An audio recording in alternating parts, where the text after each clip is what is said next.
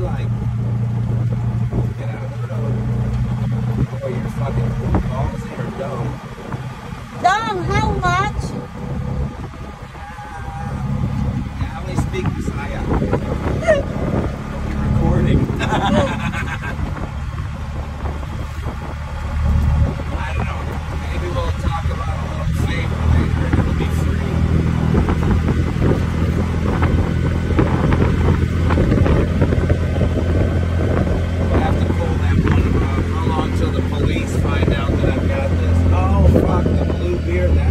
looking at me like I got two heads.